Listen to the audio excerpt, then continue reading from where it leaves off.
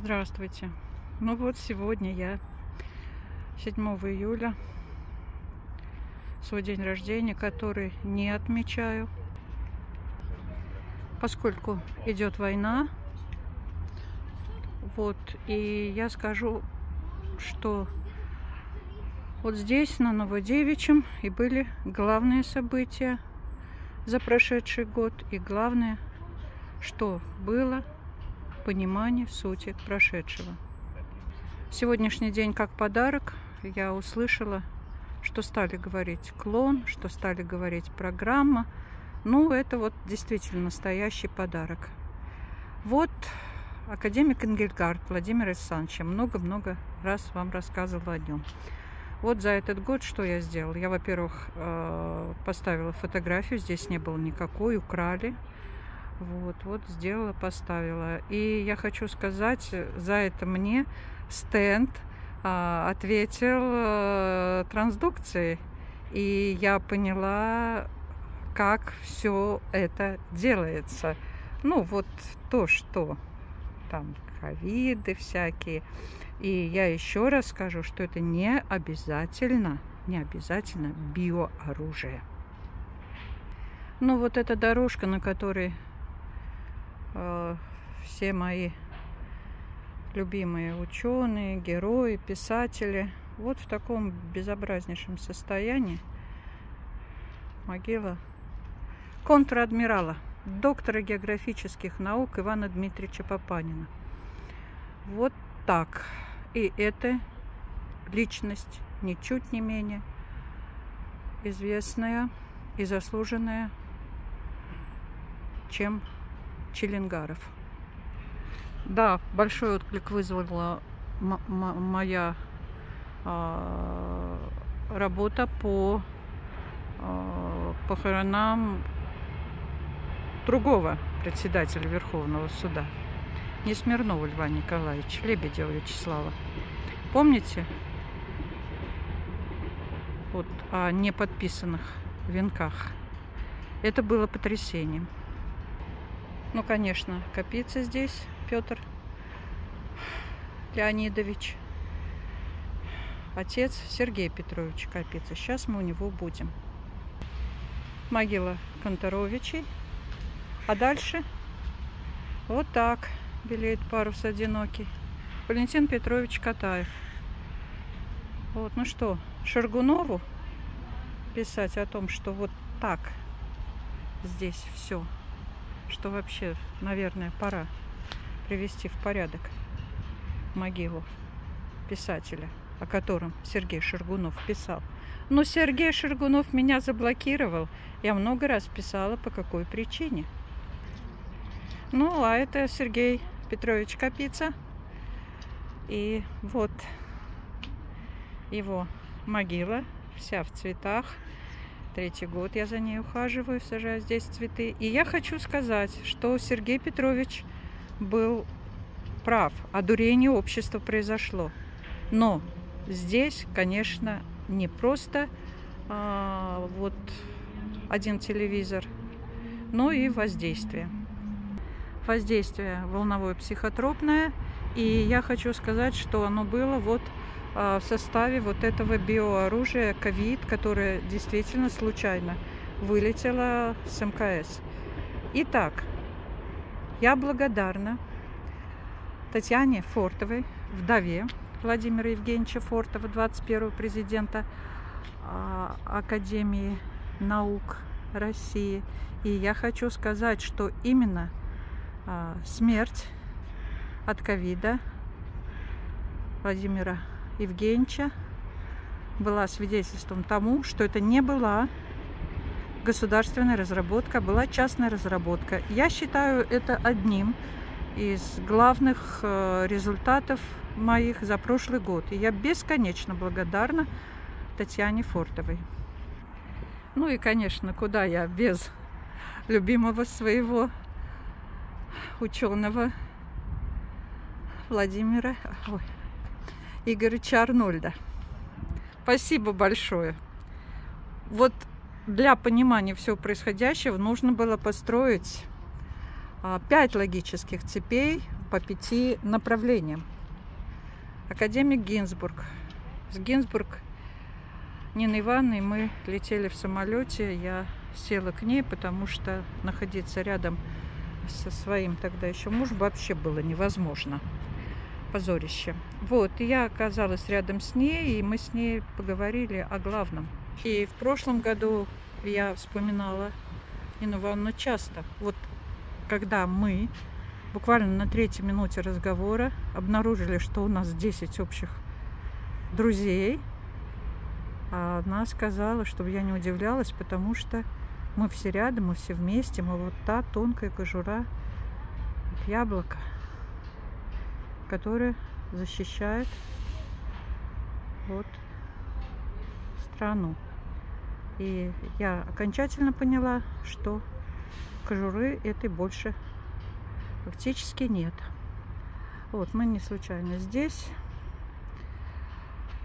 Нет, уехали, уехали многие, а те, кто остались, ну, либо иноагенты, либо молчат. Вот.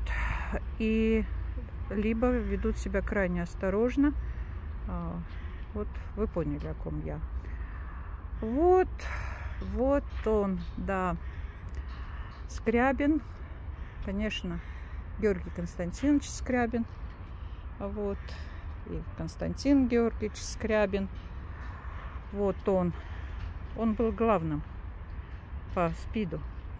Занимался трансдукцией и возглавил это направление, держитесь, в Курчатовском институте.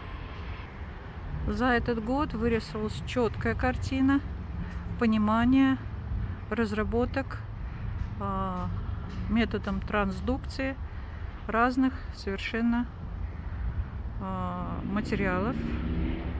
Да, можно это смело назвать и биооружием, и не биооружием. Вот возглавлял все эти направления Юрий Анатольевич Овчинников. И это было впущено, и это целая-целая очень интересная история. Ну, во всяком случае, все сложилось э, в прошлом году, в моем. И я скажу, что я поняла, почему меня заблокировал Михаил Бару. Миша Бару. Ну вот, я никогда вам не показывала. Вот Хворостовский. Вот так здесь все у него. И так будет еще какое-то время, безусловно. Но еще в этом году мне было понимание, вот что починок, ну что починок, вот его могила в тех же традициях. Думаю, дальше продолжать не нужно. Вот еще хотела показать вам, верю в Россию, Соломенцев Михаил Сергеевич. Ну, наверное, те, кто моего возраста и были близкие к политике, к политической жизни, как, например, я. Помните, наверное, кем он был. Кто забыл, прочитайте. Ну, безусловно, событием было то, что, да, прошлого года, что я вот здесь обнаружила могилу Петра Борисовича Ганушкина. Ну, в общем, так получается, что большого друга моего прадеда – Михаила Аслановича Тарасова. Вот. Великий совершенно психиатр. Я прочитала его книги и очень-очень многое поняла. Да, по совету доктора медицинских наук Ольги Юрьевны Казьминой. В прошлом году умер сын маршала Ивана Ивановича Борзова, Юрий Иванович Борзов, Юрочка. Вот. И я знаю, что вот за его могилой, за могилой Клавдии Парфентьевны Борзовой ухаживает их дочь Надя. Светлая память вам всем. Это вот совершенно невыносимо. Юрочка, Юрий Иванович. Вот такой был прошлый год, сколько ушло. Ну и самых популярных за прошлый год был сын вот, например, могила сына Георгия Димитрова. М. Димитров. Вот так. Ну, а это еще одно мое прошлогоднее открытие. Вот это на Новодевичьем кладбище. Могила героя Советского Союза, летчика-истребителя, подполковника Шлепова Виктора Петровича.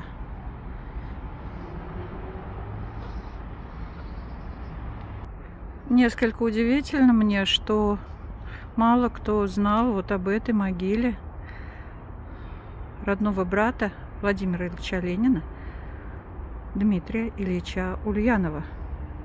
Ну вот сейчас она зарастает новой травой. Вот такая картина здесь. Ну вот, тоже мало, может, кто знал Марию Федоровну Андрееву актрису, вы знаете о, о ее судьбе, я надеюсь. Но здесь сейчас очень много экскурсий, кричащие экскурсоводы. А я с вами попрощаюсь у могилы Раисы и Михаила Сергеевича Горбачева.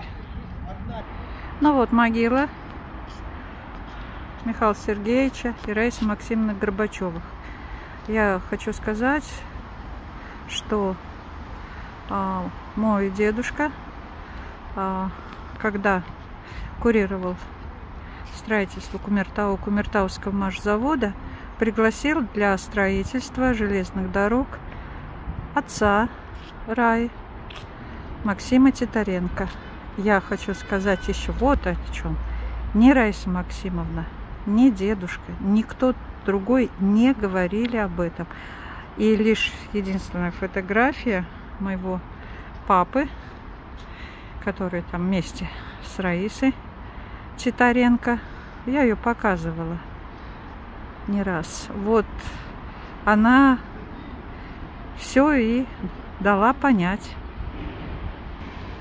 К сожалению, я поняла, почему меня заблокировал Павел Русланович Палащенко. Ах, какая история, и я ее расскажу. И она связана, конечно, с распадом э, верховной власти съезда народных депутатов. Почему это произошло и как это произошло, я уже об этом писала, повторю. Ну вот так прошел еще один год моей жизни. Да, он был здесь, и я скажу, что это было осмыслением.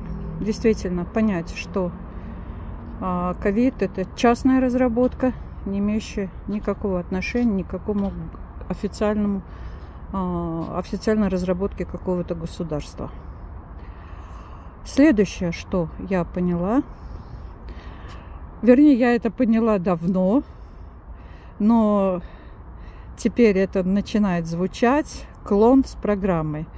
Вот и это тоже очень важно. Вот. Было просто понять, что распространялся ковид волной с МКС. Вот. Это тоже. Это было еще раньше, не в прошлом году. Меня очень удивляет, что вот все вот какому-то двойнику там верили. Вот это действительно было для меня вообще очень грустной истории. Но я понимаю, я впущена, все эти клоны, прочее, все это, э, это все известно было давным-давно, почти 50 лет назад. Вот. И я скажу, что вот это величайшее открытие, оно было раньше. Просто Илон Маск сказал об этом, э, ну, месяца три назад. Что создана полная программа мозга оригинала. Вы понимаете? То есть, вот если у вас будет клон, и в него загрузят вот эту программу, волну или там как угодно, это будете вы с вашей памятью, с вашими воспоминаниями. Это будете вы. И здесь уже говорить о клоне нелепо. Здесь мы говорим уже, и даже это не биоробот, это еще один такой же человек. И поэтому сейчас я забираю свои слова, назовите его по-другому. Зовите так, как звали. Все. Это полная копия э, умственная, но не физической. Поэтому перестаньте удивляться. Да, разный, разный, разный. Но вот все, цивилизация живет в новом измерении. И это самое главное, что у меня было за прошлый год. Вот это понимание. Спасибо Илону Маску. До свидания.